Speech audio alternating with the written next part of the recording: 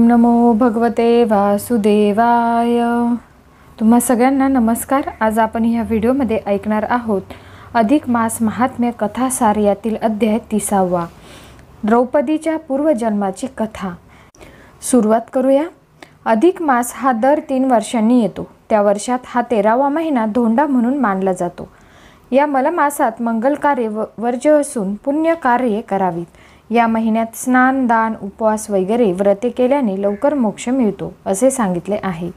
या अधिक मासाला तुच्छ मानले आणि पुरुषोत्तम भगवान यांचा अवमान केला तर त्या माणसाला कसे दुःख प्राप्त होते?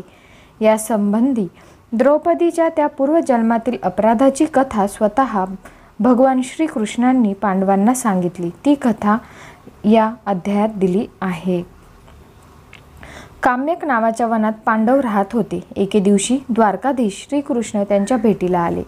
पांडवांनी आनंदाने त्यांचे स्वागत केले. राजपद सोडून पांडवांना वनवास भोगावा लागला. त्यांची ती दशा पाहून श्रीकृष्ण उदास झाले. धर्मराजा म्हणाले नटखट कृष्ण आज तू आमच्या भेटीला इथं आलास. आम्हा सर्वांना फार आनंद झाला. पण काय हो कृष्णा आमची ही वनवासातील दुःख तुम्हाला पाहवतात का? अर्जुनाने असा प्रश्न केला. त्यावर श्रीकृष्ण थोडे हसले आणि म्हणाले अरे तुमचं कर्म तुम्हाला भोवलं. मी काय करणार? धर्मराजाच्या द्यूत खेळण्याचा छंद आणि आणि काय? कृष्ण स्पष्ट आणि खरं सांगा. आमचं आणखी कोणतं कर्म आम्हाला भोवलं? धर्मराजाने असे विचारल्यावर श्रीकृष्ण गंभीर होऊन म्हणाले या द्रौपदीचा तुमच्या पत्नीचा तो पूर्वजन्मीचा अपराधही तुम्हाला भोवला बरं. द्रौपदीचा पूर्वजन्मीचा अपराध कोणता? ती कहाणी आम्हाला कळलीच पाहिजे. सांगा बरं. अर्जुन उतावळेपणाने म्हणाला. मग कृष्ण म्हणाले सांगतो. सगळेजण शांतपणे बसून ऐका. ती कर्मकथा. पूर्वी मेधावा नावाचे एक ऋषी होते. नदी तीरावरील आश्रमात त्यांनी आपला संसार थाटला होता. त्याच्या घरी एक कन्या जन्मली. तिचं नाव होतं मेधावती. मेधावतीच्या बालपणीच तिची आई वारली. मग पित्यानं त्या लहान मुलीचं लालन पालन पोषण केलं. तिला वाढविली. विद्याशास्त्री शिकवली. मोठी गोड मुलगी होती ती मेधावती. मेधावती मोठी झाली. लग्नाला योग्य झाली. मेधावी ऋषींनी तिच्यासाठी खूप स्थळे पाहिली. पण तिला योग्य असा वर मिळेना. पित्याला काळजी वाटू लागली. ते खूप फिरले. पण फिरता फिरता एके दिवशी मेधावी ऋषींना सपाटून ताप आला. ते घरी आले आणि दारातच मूर्छित होऊन पडले. मेधावती घाबरून गेली. लोकांनी त्यांना मग शुद्धीवर आणले. मेधावी ऋषींचा ताप काही उतरेना. ते आजारी पडले. मेधावतीने त्यांची खूप सेवा केली. पण छे नंतर एके दिवशी मेधावी ऋषी मरण पावले. मेधावतीने खूप शोक केला. लोकांनी तिचे सांत्वन केले. तिला धीर दिला. आई गेली वडील गेले. मेधावती अनाथ झाली. उदास होऊन ती सारखा विचार करत होती. आता पुढे आपलं कसं होणार? मेधावती अरण्यात गेली. तप आचरण करू लागली. शंकरांची आराधना करू लागली. ती अन्न घेईना. तिचे शरीर सुकून गेले. ती क्रुश झाली. देवाशंकरा आता मला तुमचाच आधार आहे. माझं लग्न व्हावं. मी सुखानं संसार करावा. हीच माझी इच्छा आहे. ती तू पूर्ण कर अशी तिने विनंती केली. मेधावती तप आचरण करीत असताना एके दिवशी चमत्कार झाला. मुली डोळे उघड. मी दुर्वास मुनी. तुझ्या पित्याचा मित्र. मला ती वार्ता कळली. मेधावी इह लोक सोडून गेला. मला खूप दुःख झालं. आमची संगत तुटली. व्हायचं ते झालं पण तू धीर धर. तू अनाथ नाही. मी तुला पित्यासमान आहे. उठ बाळे. हे तपा आचरणाचे कष्ट पुरे झाले. आता विवाह करून सुखाने संसार कर. जन्माचे सार्थक कर. मेधावती म्हणाली ठीक आहे. तात मी त्यासाठीच हे तप आचरण करीत आहे. आता भगवान शंकर प्रसन्न होतील. मला ते इच्छा पूर्ण होण्याचा वर देतील. त्यांची आराधना मी करत आहे. पण मुली मी सांगतो तसे कर. हे बघ आता अधिक मास येईल त्यातील स्नान दान व्रताचे आचरण कर. त्यायोगे भगवान श्री पुरुषोत्तम प्रसन्न होतील. तुझी इच्छा ते पूर्ण करतील. दुर्वास ऋषी सांगत होते. पण मध्येच मेधावती म्हणाली तात मी जे शंकराची तप करीत आहे ते असेच मध्ये सोडून अधिक मास व्रत आणि त्या पुरुषोत्तमाची आराधना कशी करू?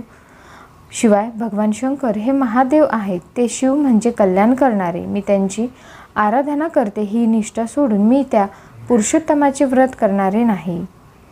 मेधावतीच्या त्या बोलण्याचा दुर्वासांना राग आला. ते संतापी होते तरीही रागावरून ते समजुतीच्या स्वरात तिला म्हणाले पोरी मी जे सांगतो ते तुझ्या हिताचेच आहे.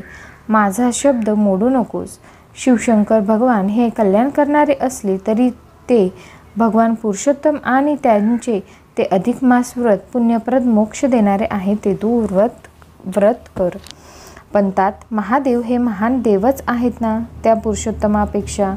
मेधावतीचे ते बोलणे मध्येच तोडून दुर्वास मुनी पुन्हा रागाने म्हणाले हे बघ पुरुषोत्तमाला आणि अधिक मास व्रताला तू तुच्छ मानू नकोस. माझाही अपमान करू नकोस. तुझा हट्टच तसा आहे तर या अपराधांचा परिणाम तुला पुढील जन्मी भोगावा लागेल. पुढील जन्मी तू राजाची राणी झालीस तरी तुला आणि तुझ्या पतीलाही मग वनवासाचे दुःख भोगावे लागेल. नंतर पुन्हा अधिक मास व्रताच्या पुण्याईने आणि भगवान पुरुषोत्तमाच्या कृपेने तुम्हाला तुमचे पूर्व वैभव प्राप्त होईल. हे माझे शब्द मुळीच खोटे ठरणार नाहीत. इतके बोलून दुर्वास ऋषी तेथून रागात निघून गेले. मेधावतीला खूप वाईट वाटले पण काय करणार? तिने मग अत्यंत कडक उपवास करून अग्निकाष्ट भक्षू महादेवांची आराधना चालू केली. त्या खडतर तपश्चर्याचे फळ तिला लवकरच मिळाले. एके दिवशी अकस्मात भोलेनाथ शंकर प्रगट झाले. धन धनगंभीर आवाजात ते म्हणाले पोरी मी प्रसन्न झालो आहे. मागशील तो वर तू देतो. भगवान शंकरांची ती भव्य मूर्ती पाहून मेधावती भांबावून गेली. गायगाईने ती पुन्हा पुन्हा म्हणाली पती दे पती दे पती दे पती दे पती दे. देवा ही माझी इच्छा पूर्ण कर. मला पती दे हाच वर मला दे. मेधावतीची ती मागणी ऐकून भोलेनाथ हसून म्हणाले मुली मी तुला तसाच वर देतो. तू पाच वेळा पती मागितलास म्हणून पुढील जन्मी तू पाच पतींची पत्नी होशील. तुझ्या दैवी जे आहे तेच घडून येईल. आणि हो आणखीही ऐकून घे. तू अधिक मास व्रताला आणि पुरुषोत्तमाला तुच्छ मानलेस. दुर्वास ऋषींचा अपमान केलास. या अपराधाचेही फळ तुला भोगावे लागेलच. तू पुढील जन्मी पाच पतींची राणी होशील आणि रा राणीपद मिळून सुद्धा त्या पतींसह तुला वनवासाचे दुःख भोगावे लागेल. इतके सांगून तो पंचानन श्री महादेव गुप्त झाले. मेधावती तर सुन्नत झाले. हाय रे दैवा काय झालं हे? मी सहज बोलून गेले. त्याचा परिणाम हा असा विपरीतच विपरीतच झाला. पुढील जन्मी पाच पतींची मी राणी होणार आणि मला त्या पतींसह वनवासाचे दुःख भोगावे लागणार? या विचारांनी ती गुंग झाली. तिला रात्रंदिवस चैन पडेना. चिंतेने ती जळत राहिली. पाच पती वनवास काय ती विचित्र दैवगती. सततच्या त्या धसक्याने ती हळूहळू क्षीण झाली आणि तिचा आत्मा कुडीतून निघून गेला. ती मरण पावली आणि मग पुढील जन्मी तिचा तो आत्मा द्रुपद राजाच्या यज्ञकुंडातून बालिका स्वरूपाने प्रगट झाला. पांचाळ देशाचा देशाचा द्रुपद राजा त्याने एकदा मोठा महायज्ञ केला. त्या यज्ञकुंडातून अचानक बालिका प्रकट झाली. तिचे नाव याद याज्ञसेनी असे ठेवले. द्रुपद राजाची ती कन्या द्रौपदी. द्रौपदीच्या स्वयंवरात अर्जुनाने पण जिंकला. द्रौपदीने त्याला वरमाला घातली. घरी आल्यावर कुंतीच्या आज्ञेने ती द्रौपदी पाच पांडवांची पत्नी बनली. तिची अशी वाटणी झाली. श्री महादेवाचे वरदान सत्य झाले. पुढे पांडवांना राज्य सोडून वनवासात जावे लागले. पतीबरोबर द्रौपदीलाही तो वनवास भोगणे प्राप्त झाले. दुर्वास ऋषींचा शाप खरोखर ठरला. अधिक मास व्रताची आणि पुरुषोत्तमाची पूर्वजन्मी अवहेलना केली त्या मेधावतीला म्हणजेच या जन्मीच्या ह्या द्रौपदीला त्या घोर अपराधाचे फळ हे असे भोगावे लागत आहे. श्रीकृष्णाने द्रौपदीच्या पूर्वजन्मीच्या अपराधाची अशी कहाणी सांगितल्यावर द्रौपदीसह पाचही पांडव थक्कच झाले. मग त्या योगेश्वराला वंदन करून धर्मराज म्हणाले कृष्णा झाले ते झाले. झाले ते गेले. आता तरी पुढे आम्ही काय करावे? म्हणजे या दुःखातून आमची सुटका कशी होईल? तो सरळ उपाय सांगावा. श्रीकृष्ण म्हणाले आता उपाय हाच. तुम्ही सर्वांनी येत्या अधिक मासात पूर्णपणे स्नान दान उपवासा उपवासवादी व्रते नियमित करावी. त्यामुळे भगवान पुरुषोत्तम प्रसन्न होतील. त्यांच्या कृपेने तुमची वनवासातील दुःखे दूर होतील आणि तुमचे पूर्व वैभव तुम्हाला प्राप्त होईल. लवकरच अधिक महिना आला. द्रौपदींसह पांडवांनी त्या महिनाभर योग्य ती अशी सारी व्रते नियमित केली. यथाशक्ती दानही केली. शेवटी उद्यापनाचा तर खूपच थाट केला. त्या पुण्यकर्माच्या प्रभावाने त्या सर्वांवर भगवान पुरुषोत्तम प्रसन्न झाले. त्यांच्या कृपेने महाभारताच्या युद्धात पांडवांना विजय मिळाला आणि त्यांना पुन्हा राजपद प्राप्त झाले. येथेच तिसावा अध्याय समाप्त होतो. ओम नमो भगवते वासुदेवाय. गोपालकृष्ण भगवान की जय. आज आपण ह्या व्हिडिओमध्ये अधिक मास महात्म्य अध्याय तिसावा ऐकणार आहोत. तर चला सुरुवात करूया. श्री गणेशाय नमः श्री सरस्वत्यै नमः श्री गुरुभ्यो नमः. श्री गणेशदेवा वंदन शारदेचे करुस्तवन कुलदेवतेला हे नमन कृपा करी ती भक्तावरी शंभूदेवे प्रेरणा केली वारंवार स्फूर्ती दिली. म्हणून ही रचना झाली अध्याय हा आगळा. एथवरी पद्मपुराण त्यातील झाले वर्णन. बृहन्नारदीय कथन कथा वेगळी परिसावी. शब्दरचना साधी सुधी अर्थबोधाची उपाधी. उपाख्याने दृष्टांतादी अध्यायी ह्या नसतसे कथेचे ते सरळ कथन बोली भाषेत वर्णन अधिक मास महात्म्य श्रवण मन डलावून करावे. मलमास हा पुण्य पावन काळ लोटतो वर्षे तीन. तेरावा मास धोंडा म्हणून मंगल कार्यास वर्ज्य हा. तरी पुरुषोत्तमाने तयास पुण्य प्रद केला खास. स्नानदानादी उपवास मोक्षदायी मानिले. अधिक मास व्रते करून उद्यापनाचा विधी पूर्ण. तयाने घडते महापुण्य ऐसे महात्म्य जाणावे. मागील अध्यायी निरूपण कैसे करावे उद्यापन? लक्ष्मीस सांगे नारायण विस्तार ध्यानी धरावा. व्रतास जर काही न मानिले पुरुषोत्तमाला अवमानिले दुःख दुःख दैन्य आले अनुभविले ते अनेकांनी. त्या संबंधीची कथा द्रौपदीची ती व्यथा राजपद सोडून सर्वथा वनवास दैविका आला. महाभारत वन पर्वात उपाख्याने आहेत बहुत. अधिक मास पावन व्रत कथा त्याची वर्णिली. प्रसंग घडला कृष्ण भेटीत वर्णिला. व्रताचा वृत्तांत. कथन केला या कथेत श्रोते सावधान ऐकावे. बारा वर्षे वनवास एक वर्ष अज्ञातवास द्यूतक्रीडेचा तोफास पांडवांनी भोवला. राज्य सोडून वनात गेले काम्य कवनी ते राहिले. द्रौपदीसह पांडव भले.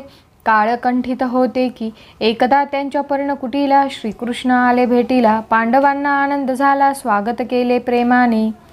योगेश्वरा तुला नमन आम्ही आलो रे शरण बोधावे मग आमुचे प्रेम चरणी अखंड राहील. पांडवांची ती दशा पाहून उदास झाले श्री भगवान विचारास मग गुंग होऊन गप्प झाले. महायोगी धर्म म्हणे रे वासुदेवा आमुचा कैवारी तू असावा तुझ्या कृपेने आमुच्या जीवा.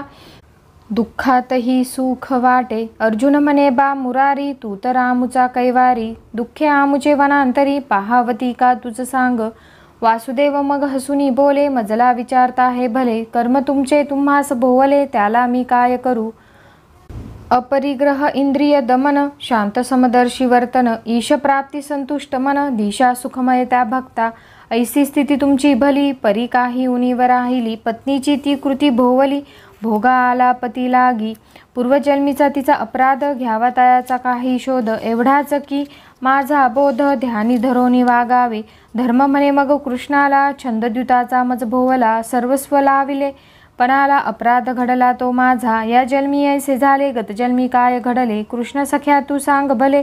स्पष्ट करोनी आम्हाला. कृष्ण म्हणे एक जाता द्रौपदीची सांगेल कथा. पूर्वजन्मीची तिची व्यथा अपराध तिने केला तो. द्रौपदीला नवल वाटले कृष्णासमोर सारे बसले. योगीराज सांगू लागले कर्मकथा पांचालीची. मेधावी ऋषी संसारी आश्रम होता नदीतीरी कन्या उपजली त्याचे घरी मेधावती नावतीचे. मेधावतीच्या बालपणी माता गेली इहलोक सोडून बाला मेधावती गुणी पालन केले पित्याने. प्रेमाने ती वाढविली विद्याशास्त्रे शिकविली विवाहाला योग्य झाली चिंता अहर्निश त्याला मग केलेवर संशोधन बहुता स्थळी हिंडून परियोग्य असावर कोण मिळेना त्या कन्येला मेधावती करी विचार सुरेख सुंदर गुणी चतुर परी मिळावा तो सत्वर संसार सुखाचा व्हावा की मैत्रिणींचे विवाह झाले कौतुक त्यांचे किती केले काहींचे तर पाळणे हलले मी पण राहिले उदास. योग्य पती मला मिळेना विवाह अद्याप होईना. पित्यावरील भार उतरेना काय? देवा दैव माझे. मेधावती चिंता करी झुरत राहिली अंतरी. मेधावी ऋषी धीर धरी स्थळे शोधित राहिला. फिरता फिरता एके दिनी ज्वराने ग्रासला तो मुनी. तसाच मग तारी येऊनी पडला तेथे मूर्छित. ज्वराने केले जर्जर अंतकाळ. आला समोर मेधावी निश्रितचेष्ट शय्येवर आत्माकुडीतून गेला तो. मेधावतीने सेवा केली परी नाही फळा आली पुत्री मग अनाथ झाली सांत्वन केले लोकांनी. माता गेली पिता गेले मेधावतीला दुःख झाले मार्ग सुचेना चित्त उडाले पुढे आता काय करू?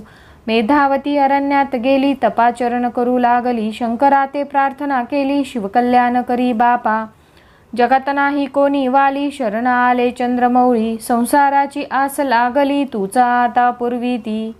तपात रात्रंदिनी मग्न नाही पाणी नाही अन्न देह गेला तिचा सुकून चमत्कार झाला एके दिनी. मेधावती मग्न तपात ओम नम शिवाय जपत. तिच्या पुढे अकस्मात दुर्वासमुनी उभे ठेले दुर्वासमुनी ते प्रख्यात क्रोधी संतापी शाप देत देवऋषी गंधर्व समस्त शब्द त्यांचे मानिती सामोरी मुनी उभे राहिले बाळे नेत्रे उघडी म्हणाले दुःख तुझे मी जाणिले सांत्वन करण्या पातलो मित्र माझा तव पिता कळाली त्याची ती वार्ता तू जरी त्याची दुहिता पुत्री समान मजलाही. दुःख आता ते विसरून जीवन सार्थ घे करून तप आचरण हे दे सोडून विवाह सत्वरी कर बाळे दुर्वासांचा तो उपदेश माया ममतेचा संदेश मेधावतीला झाला हर्ष आशा तीच माझी म्हणे. त्यासाठीच हे तपा आचरण शिवशंकर व्हावे प्रसन्न. विवाहाची इच्छा पूर्ण महादेवते करतील की. मग ते दुर्वास बोलले मुली माझे ऐक भले अधिक मास व्रत केले तर इच्छा पूर्ण होईल. आता येईल अधिक मास पुरुषोत्तमाचा तो खास. स्नानदानादी उपवास आचरण करी श्रद्धेने.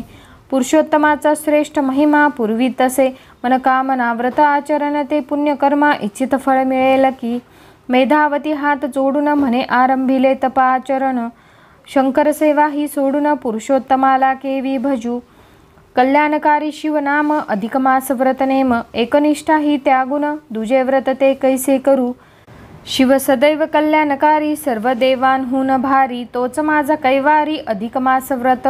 न लगे मज मेधावती मग तुच्छतेने मलमासाला मानून येऊने म्हणाली पुरुषोत्तम तो काय जाणे? श्रेष्ठत्व महादेवाचे मेधावतीचे शब्द ऐकले दुर्वासमुनी संतापले म्हणाले माझे सांगणे भले मानित नाहीस काय तू? माझा शब्द टाळला ऐसा न कोणी पाहिला माझा उपमर्द तू केला त्याचे फळ भोगशील पुरुषोत्तमाला तुच्छ लेखले अधिक मास व्रत टाळले परिणाम त्याचे भोग बाळे पुढल्या जन्मी खास तू राणीपद जरी लाभले पुढील जन्मी ते भले तरी तुझ्या दैवी आगळे पतीसह वनवास वनवासातील त्या दुःखात अधिक मास करशील व्रत तेव्हा तुझं वैभव प्राप्त होईल हा शब्द माझा.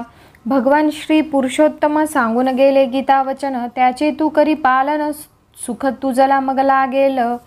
बाकी सर्व धर्म सोडून भक्तीने मज यावे शरण सर्व पापात सुटका करून मोक्ष देईन मी भक्ता. म्हणून मी सांगतो बाळे पुरुषोत्तमाचे व्रत आगळे पुढल्या जन्मी करी भले कल्याण तुझे होईल. पुरुषोत्तमाचा अधिक मास स्नानदान उपवास व्रत ते पुण्यप्रद खास आचरावे निष्ठेने. भूपती जरी तुझे पती त्यांना भोगणे दैवगती. वनवास तो तुझ्या संगती तुझ्या अपराधाचे फळ. इतुके बोलून रागाने दुर्वास ऋषी वेगाने निघून गेले त्यांचे जाणे जाणवले त्या मेधावतीला. हाय दैवा काय झाले? सहजी मी बोलून गेले. त्याचे फळ हे काय मिळाले? पुढील जन्मी वनवास? सुन्न झाली मेधावती काय होईल ते पुढती? आर्त पा प्रार्थना करी मग ती भोलेनाथ शंकराची. काही दिवसांनी अकस्मात प्रगट झाले कैलासनाथ. मेधावतीच्या मस्तकी हस्त ठेवून म्हणाले उठबाडे तुझी तपचर्या पाहून तुझवर झालो मी प्रसन्न. मागणे ते घे मागून. पंचानन मी वरदाता. भव्य दिव्य ती मूर्ती पाहिली मेधावती भांबावली हात जोडून ती बोलिली. घाईने मग पुन्हा पुन्हा पती दे पती दे पती दे देवा पती दे पती दे मज देवा कैवारी तू मजला व्हावा पुरवावा हा हे तू माझा. मेधावतीचे बोलणे पाच वेळा पती मागणे पंचाननाचे मग वर देणे घडले सारे विपरीत. भोलेनाथ हसून म्हणाले पाचपती तुझला बाळे पुढील जन्मी लाभतील भले. राणी तू हो पांचाची. आश्चर्याने मग मेधावती. म्हणे काय पाचपती? देवा काय ही दैवगती? विचित्र कैसी रीत ती. बाळे तुझी विचित्र करणी पाच वेळा पती मागणी. मीही मग प्रसन्न होऊनी वर तैसाची तुझ दिला. पाच पतींची तू पत्नी होशील त्यांची तू राणी. या जन्मी तुझ्या हातूनी घडला अपराध भोग तू.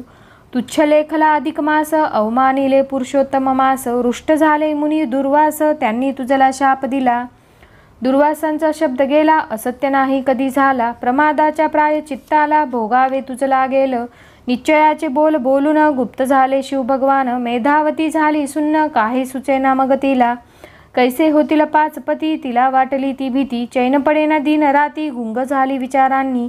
अन्न नाही पाणी नाही काजळल्या दिशा दाही. चिंता सर्व काळ वाही पुढील जन्मी. भोग कैसा? हळूहळू क्षीण झाली काया सुकून गेली. पती ध्यासात ती बाळी पंचत्वाला पावली की. पाच पतींची चिंता घेऊन आत्मा गेला कुडीतून. पुढे प्रकटला अग्नीतून. द्रुपद राजाच्या यज्ञकुंडी. पांचाळ भूपयज्ञ करी बाला तेथे रूप धरी. प्रगट होऊनी आली वरी आश्चर्य झाले सकलांना. याज्ञसेनी ती पांचाली द्रुपद कन्या द्रौपदी झाली स्वयंवरात यथाकाली पत्नी झाली पांडवांची पूर्वजन्मीची मेधावती या जन्मी द्रौपदी. ती भोलेनाथ जो वर देती सत्य झाला जाणावा. पाच पांडव झाले पती विचित्र कैसी दैवगती. राणी असुनी वनाप्रती दुःख भोगणे प्राप्त झाले. पूर्वजन्मी अपराध झाला या जन्मी भोगा आला. मेधावती त्या द्रौपदीला वनवास घडला पतींसह. अवहेलना पुरुषोत्तमाची व्रते टाळली मलमासाची वाणी म्हणून दुर्वासाची सत्य घडली या जन्मी. द्रौपदीची ही कथा ऐकून शांतपणे बोले अर्जुन आता आमची गती कोण सांगावी ती श्रीकृष्णा? घडायचे ते घडले पूर्वजन्मी जे झाले ते गेले. पुढे पाहिजे काय केले मार्ग आम्हासी दाखवावा. श्रीकृष्ण होऊन गंभीर सांगे तो पुढील विचार. अधिक मास येईल थोर पुण्यकर्मे आचरावी. त्या पुरुषोत्तम महिन्यात तुम्ही होऊन सुचिरभूत स्नान दान उपवास व्रत निष्ठापूर्वक आचरावे. काया वाचा आणि मनाने इंद्रिय अहंकार बुद्धीने कामे होतात जी स्वभावाने पुरुषोत्तमाला अर्पावी ती भावना ऐसी मनी धरून अधिक मास व्रते. पावन द्रौपदीसह तुम्ही जाण आचरावे निष्ठेने. पांचाळीला संदेश खास श्रेष्ठ मानी पुरुषोत्तम मास तेने बरे मुनी दुर्वास प्रसन्न होतील जाणावे. शिवशंभू कल्याण करता पुरुषोत्तम तो मोक्षदाता अधिक मास व्रते आचरिता कृपा त्याची होईल की. जोवरी सर्वाभूती एका ईश्वराची वसती भावना दृढती न होती तोवरी पुरुषोत्तम मानावा. म्हणून आचरी अधिक मास निष्ठेने भजावे पुरुषोत्तम मास. सांगता करुनी त्या व्रतास उद्यापन विधी करावा. त्या पुण्यकृत्याचे फळ दुःखे हटतील सकळ. वाढेल तुमचे आत्मबळ. वैभवपूर्वीचे मिळेल ते. व्रते उद्यापन केले कथन पांडवांनी केले श्रवण द्वारकेस गेले मग भगवान एल कल्याण इच्छुन द्रौपदीचे. पुढे आला अधिक मास स्नानदानादी उपवास. व्रते नियम पाळीले खास द्रौपदीसह पांडवांनी. उद्यापनाचा विधी केला यथा सांग जो सांगितला श्रद्धापूर्वक आचरिला. मलमास तो महिनाभर पुरुषोत्तमाची कृपा झाली दुःखे पांडवांची सरली विजयाची ती कथा भली विदित आहे सकलांना. अधिक मास व्रत उद्यापन द्रौपदीचे ते कल्याण. अध्याय हा नाविन्यपूर्ण मनोहर सुते रचिला असे. इति श्रीमलमाहात्म्य ग्रंथ बृहन्नारदीय पुराणसम्मत मनोहर सुत विनम्र रचित. इति त्रिशतमोध्याय गोडहा. येथेच तिसावा अध्याय समाप्त होतो. आता पुढील व्हिडिओमध्ये आपण अध्याय एकतीसावा ऐकणार आहोत आणि त्यानंतर आरती घेणार आहोत. ओम नमो भगवते वासुदेवाय. धन्यवाद.